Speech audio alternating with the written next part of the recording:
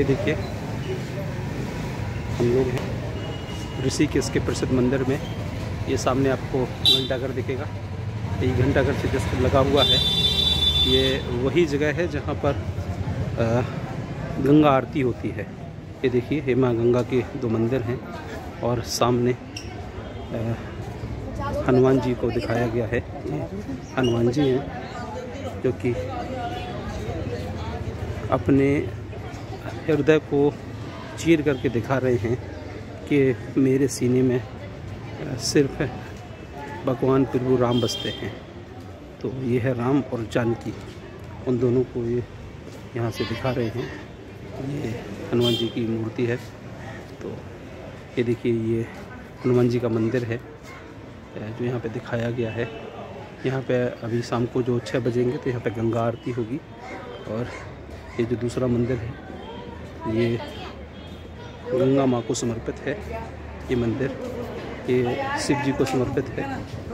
और इस मंदिर पे गंगा आरती होती है और यहाँ हम आपको ये जो आपको जगह दिख रही है, उसमें भगवान श्री कृष्ण सारथी बने हुए हैं और अर्जुन को मार्ग बता रहे हैं, गीता का उपदेश दे रहे हैं। बोला जाता है कि उन्होंने ही अर्जुन को ये बताया था कि आप युद्ध में कैसे लड़ें कि जिससे आप विजय प्राप्त विजय को प्राप्त करें। ये देखिए।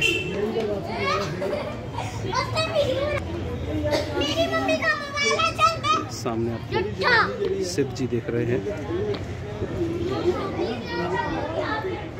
शिव है। योग कर रहे हैं।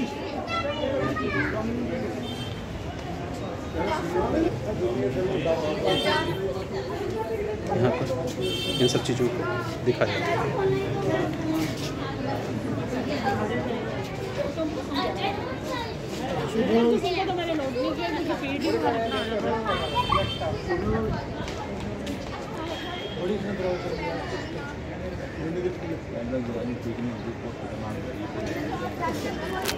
ही।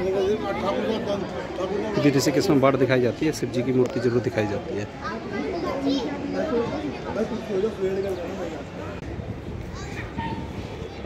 गंगा को बचाने के लिए ऐसा बोला गया पुराणों में कि वेदों में और पुराणों में कि गंगा का पृथ्वी पर अवतरण होगा और अगर मानव से अनुकूल व्यवहार नहीं करेगा तो एक बार वो पृथ्वी छोड़कर फिर से स्वर्ग चली जाएँगी। ये देखिए। यहाँ पर लिखा हुआ है गंगा राष्ट्रीय धरोहर है गंगा माँ है आओ मिलकर प्रण करें कि गंगा माँ की रक्षा करें। मोदी जी ने अ, गंगा के संरक्षण के लिए नमामि गंगे प्रोजेक्ट चलाया है जिसमें बोला गया है कि आप कोई भी गंदगी ना फैलाएँ यहाँ पर गंगा चूँकि माँ है आप इनको गंदगी ना फैलाएँ इनका संरक्षण करें। और यही चीज़ बताई गई है कि सबसे पहले 1986 1986 में राष्ट्रीय गंगा मिशन शुरू हुआ था जो कि इतना सफल नहीं रहा। बाद में गंगा को साफ़ करने के लिए जितने गंगा से संबंधित राज्य हैं उनको आमंत्रित किया गया बोला गया और national Ganga mission authority of India का निर्माण किया गया। तो लेकिन वर्तमान में नमामि गंगे प्रोजेक्ट चल रहा है। जिसका उद्देश्य है कि गंगा को स्वच्छ रखना है। साफ़ रखना है। ये है गंगा घाट। पीछे गंगा बह रही हैं। और यहाँ पर चलना और बड़ा सुकून मिलता है। बोलते हैं कि बाकी गंगा माँ है। यहाँ पे आपको बहुत ही ज़्यादा सुकून मिलेगा। आप जब भी आएँ, घाटों पर बैठें। असीम शांति है इन घाटों पर। नहा रहे हैं। और चूँकि हरिद्वार में कुंभ शुरू हो गया है तो आप यहाँ पे आइए, अब धीरे धीरे यहाँ की भीड़ बढ़ना शुरू हो जाएगी। ये जो सामने आपको दिख रहा है सीता सेतु है। और ये है माँ गंगा का एक नज़ारा, गंगा घाट। बहुत ही सुंदर, अद्वितीय।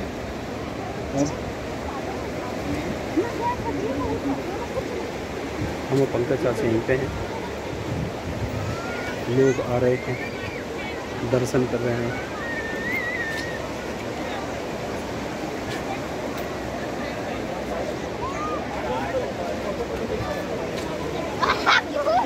पारक की पत्नी ये देखिए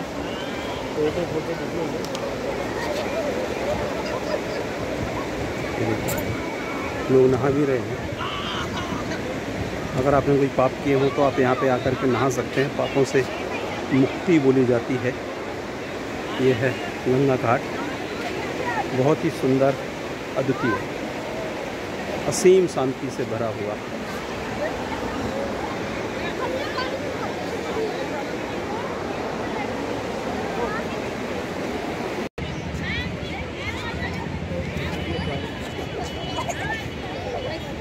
ये देखिए, ऊपर पूरा पहाड़ आपको दिखेगा, जहाँ से गंगा अवतरित हो रही है।